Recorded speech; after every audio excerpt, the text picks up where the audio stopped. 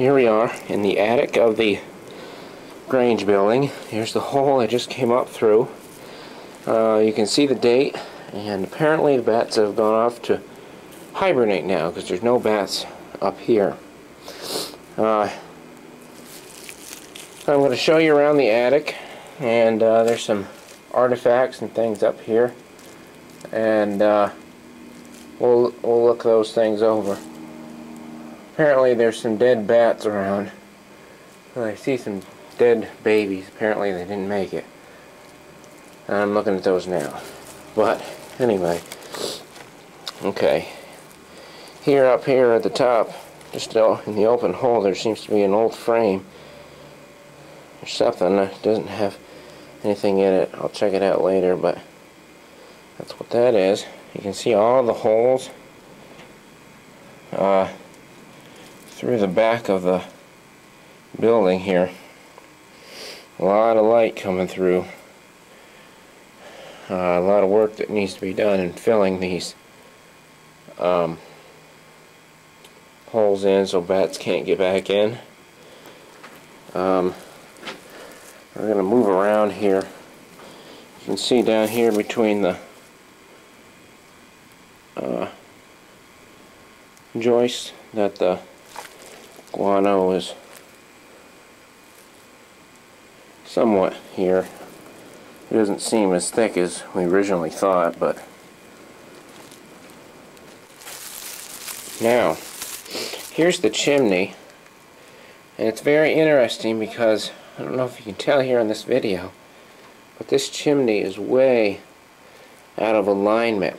As you can see, they apparently build up to here and then it looks like it's almost a foot out of alignment. And they built over here to the side quite a bit to make it come out evenly. Uh, the base of the chimney up here seems to be uh, have mortar in it, but I see what Ted Williams meant by up here at the top, you can see that there's absolutely no mortar at all. I can see daylight through there. So, now down below here, at the base of the chimney, are all of the gas light fixtures, some of which we had found in the basement. Uh, there's the old control box. It looks somewhat like the items that I found at the Old Church of Christ up the street. There's apparently a lot of birds been up here. There's a lot of hay and stuff like that in these corners. There's one of the old light fixtures right there. A little more decorative one. Sitting with those rest of those things. Here's the other side of the chimney. Uh, it's quite, it's just a little chimney inside here really as you can see by the side not much to it but the top once again is quite loose now here shows the electrical connections up here. They seem to be quite old. And also up here you see this pipe which is the old pipe for the gas lights. Still connected. And uh, running the length of the attic. Now up here in the boards, you can see the roof boards here, and you can see that the only layer up here uh, of roofing is just the tin roofing. Okay, now I'm at the front of the, attic now. Uh, you can see right down here where there's a pipe still coming through the ceiling from the gas lights. And uh, here's the pipe that I showed you before, looking back from where I've been, down there, you can see the other end of the attic, see all the light coming through. Now I'm at the, the front of the attic, and this is showing here where the guano is about a foot thick. And this is right under the peak here, where they come in. And you can see it just seems to be really thick between that entrance and exit point there. There is, of course, some between the other ones, but it's not quite as thick.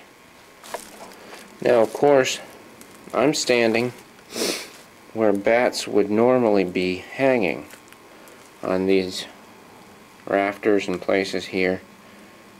Uh, and over here. Okay. Now, there's a little ladder here built on the wall.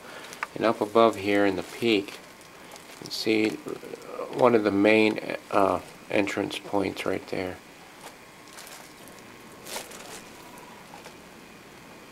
Okay. So I'm showing uh, above the emergency door here. I guess there's must be a hole there. I've seen sunlight coming through. But now I'm just panning the the attic. Apparently there's still some bats up here because I hear bats at the other end. Uh, but it's really, it's all open. Actually, it's really quite good construction up here. Um, it's not, it's all one big open space. It's really quite nice. It's really quite unbelievable, but these beams or I guess these joists or whatever they are, going across the attic span the entire uh, width of the building. There's no break in them like there usually is. They're just one big long uh, plank and they look to be about two or two and a half inches wide uh, by six inches in width but the length of them is about 24 to 26 feet long. Now you can see down here where the pigeons and birds apparently come in. This is in the front peak on the community association side. Not the peak, but the in the eaves. The, the other end doesn't seem to have that, but the other end isn't broke off outside either. Now you can see up here in the peaks how that's constructed. And I've noticed up here above me, just down the way, there's still, uh, let's see, right down here, there's still a few bats left up here. They look like babies. Here's a look at the chimney again. A lot of mud wasps and things up here. But uh, especially right here, you can see the gaps. They're just hanging. Um, some of the metal roofing doesn't sound as though it's tight. Because once in a while I hear roofing kind of bouncing up and down. So I, I'm not too sure about that. Now I can see right here. I can see right out through to daylight in the chimney. I'll shut the night shot off. You can see how much light actually comes in You can see so that's not too good a condition that's for sure.